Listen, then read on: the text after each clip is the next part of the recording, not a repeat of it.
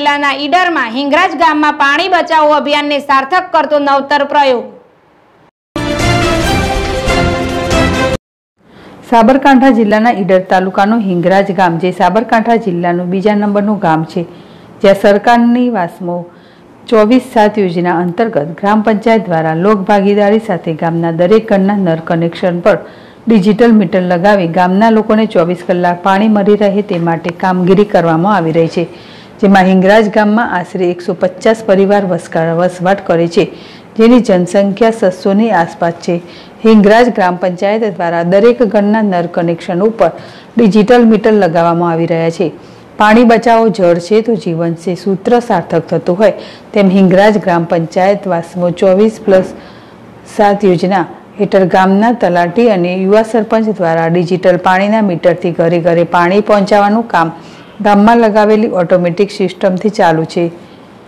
ઓછા વરસાદ અને પાણીના વેડફાટથી જળસ્રોત નીચા જઈ રહ્યા છે. તેવા સમયમાં ગ્રામ પંચાયત દ્વારા ડિજિટલ મીટર થકી પાણીનો વધુ બગાડ અટકાવી શકાય અને જરૂરિયાત મુજબ જ પાણીનો ઉપયોગ થાય તેવું ગામ લોકો અને સરપંચ તથા ગ્રામ પંચાયતના ઉદ્દેશ્ય તેવું પ્રતીત થઈ રહ્યું છે. રાજેશ ચાવડા જેડેશ ટીવી, ઈડર.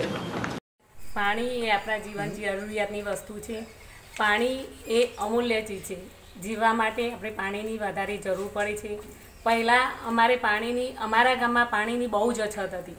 અમે ડંકીથી અને કૂવાથી બહુ તકલીફો વેઠીને પાણી લાવતા હતા.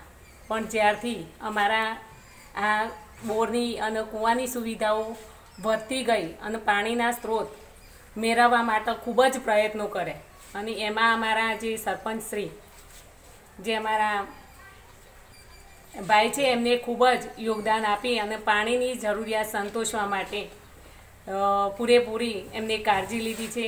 અને આજે આપણે જોવા જઈએ તો પાણીનો ખરેખર કરકસર ભરે ઉપયોગ કરવો જોઈએ. પ્રદૂષણના લીધે વરસાદની અછત. અને એ અછતમાં આપણે ખૂબ જ કાળજીથી પાણીનો જો ઉપયોગ કરીશું, તો આપણી પાછળની પેઢીને પણ આપણે એમનો પાણીનું એક દાન આપી શકીશું. અને પાણીનો પુરવઠો, એક મીઠા પાણીનો સ્ત્રોત એક જ છે કે વરસાદ? વરસાદની અછત આપણને અત્યારે ખૂબ જ વર્તાઈ રહી છે. એટલા માટે ખૂબ જ પાણીનો કરકસર ભરે ઉપયોગ કરવો જોઈએ. અને આજે આ મીટર વ્યવસ્થા જે ગોઠવાઈ છે એ ખૂબ જ જરૂરી છે. જો મીટર વ્યવસ્થા હશે, તો દરેક માણસ એ મીટરને જોઈ અને એમ આપણે કેટલું બધું પાણી વાપરીએ છીએ.